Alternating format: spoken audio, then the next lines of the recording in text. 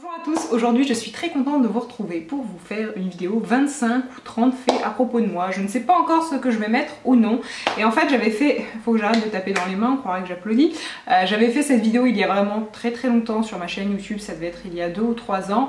Et euh, dernièrement j'ai regardé cette vidéo, alors non seulement il y a des choses qui ne sont plus vraies puisque la vie a fait que, alors mais surtout la tête que je me payais, donc je me suis dit non Alison pour le bien de tous, tu vas refaire cette vidéo que personnellement j'aime beaucoup regarder. Je m'appelle Alison et je déteste profondément, mais vraiment très profondément mon prénom. Je suis née le 10 décembre 1991 à Daumont dans le Val d'Oise. J'ai vécu 5 années à Montréal pour y faire mes études supérieures et je suis partie directement après le bac. En privé je peux avoir un langage de chartier, mais vraiment un vrai de vrai langage de chartier je sais que parfois c'est un petit peu étonnant lorsqu'on voit mes vidéos parce que je suis très posée, je pense que je le suis aussi dans la vie, mais euh, dire des gros mots c'est un petit peu une seconde passion. Du moins pas dans toutes les situations parce que parfois il vaut mieux s'en passer. Je déteste le goût de tous les alcools et si je bois c'est uniquement pour chercher l'ivresse. Je passe ma vie à avoir froid et c'est pour ça que le thermostat dans mon appartement est toujours réglé sur 25, je sais, c'est mal. J'ai fait des études en droit international et relations internationales, puis une école de commerce et j'ai toujours beaucoup aimé ça. Les études, c'est toujours quelque chose qui m'a énormément tenu à cœur.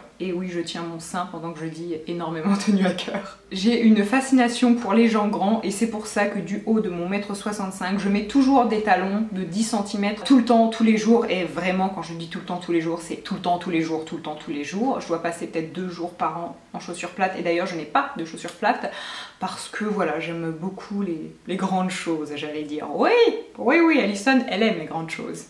C'est spécial, hein Non, non, je vais pas dire ça. Non, mais je trouve ça joli d'être grand, tout simplement. Voilà. Petit fait dont je ne me vante pas, et je pense même que je ne l'ai jamais avoué, il n'y a qu'une personne qui, euh, qui, était au courant il y a encore quelques temps, c'est que je trouve Harry Styles beaucoup trop beau, et euh, vraiment, genre là, je suis pas du tout groupie parce que sa musique et autres, je m'en fiche un peu, mais alors, physiquement, c'est...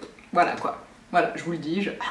franchement je mets pas de mots. Dans un registre un peu plus triste, je déteste Noël et le mois de décembre et c'est vraiment dommage puisque je suis née en décembre et euh, j'ai peu de bons souvenirs en décembre en fait. C'est vraiment un mois, euh, je pense que pour me préserver cette année et ne pas supporter le mois de décembre, je vais hiberner euh, tout le mois. Je vais, je vais faire la marmotte en plus, c'est quelque chose que je fais très très bien.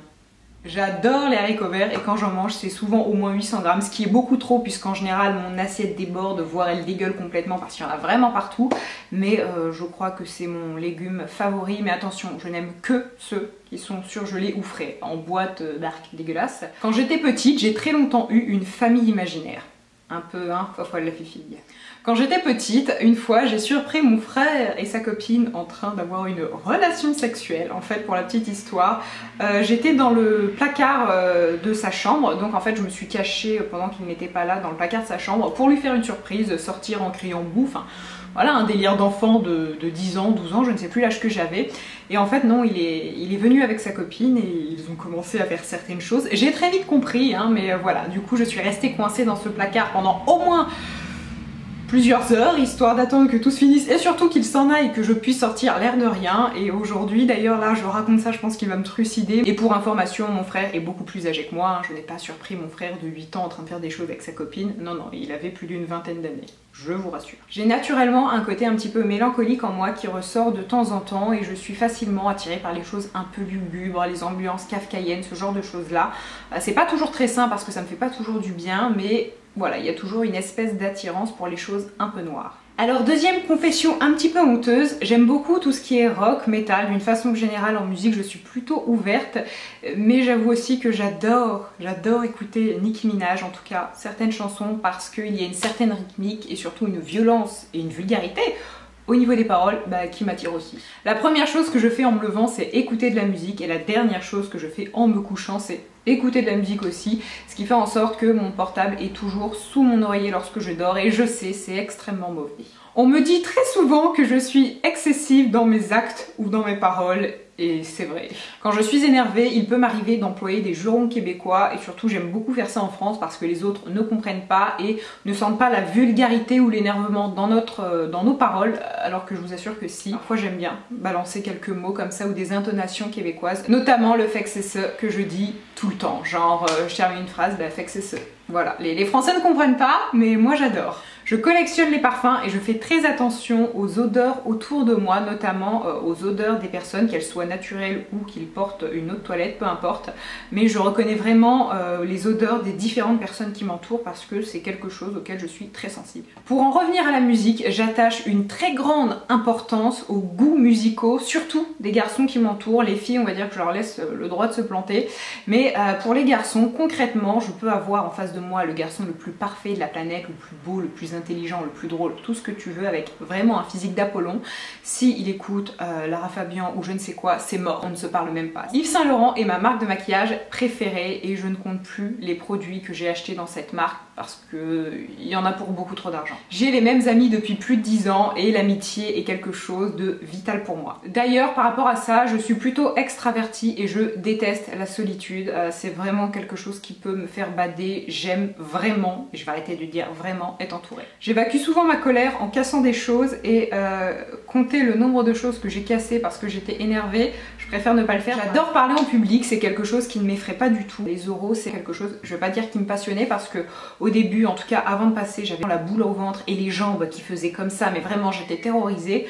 Mais une fois que je suis lancée, j'adore ça. Je suis de nature plutôt optimiste et j'aime me dire que si parfois la vie est nulle, c'est juste pour mieux triper sur les moments de bonheur qui vont arriver.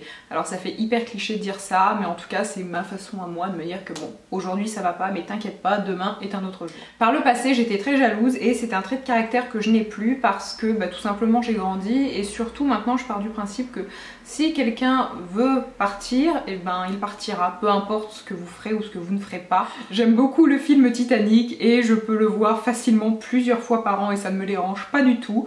Euh, c'est très sûrement mon côté fifi gnangnan, voilà, comme tout le monde, enfin comme tout le monde, comme certaines filles du moins. Je suis loyale et fidèle et je n'ai jamais trompé ou trahi personne.